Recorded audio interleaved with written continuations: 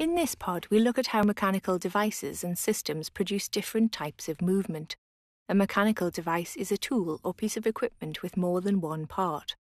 The parts of the device use and manipulate energy through motion to perform tasks and actions.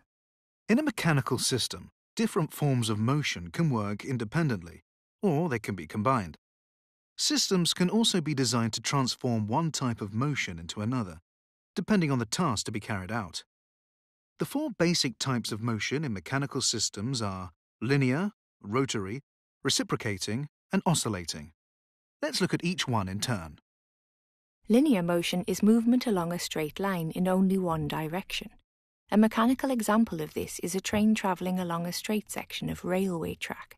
Reciprocating motion is similar to linear motion, as it's also in a straight line, but reciprocating motion is both backwards and forwards, or up and down.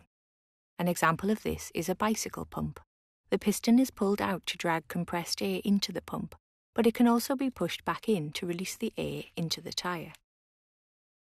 Oscillating motion can be seen in the movements of a swing in a playground and in the windscreen wipers on a car.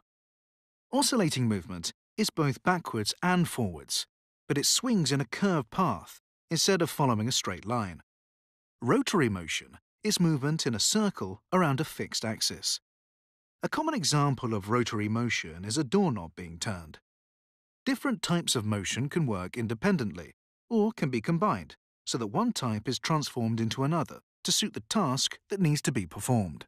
In a mechanical device, there's an underlying mechanical system in operation.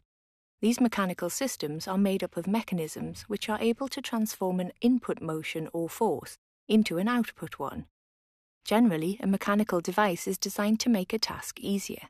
This is because the mechanical system is able to change the size and direction of the applied force, and some devices can change one form of motion into another. A car jack is an example of a device that transforms rotary motion into linear motion.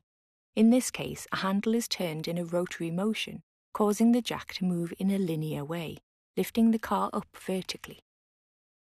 Another example of a mechanical device changing one type of motion to another is a sewing machine. The needle uses reciprocating motion as it moves up and down. To create this movement, a pedal is pressed, and the internal mechanisms of the machine transform rotary motion into the reciprocating motion of the needle.